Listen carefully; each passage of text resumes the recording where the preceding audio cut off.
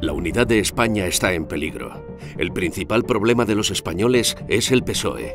Zapatero atacó la Constitución. Pedro Sánchez quiere liquidar la nación.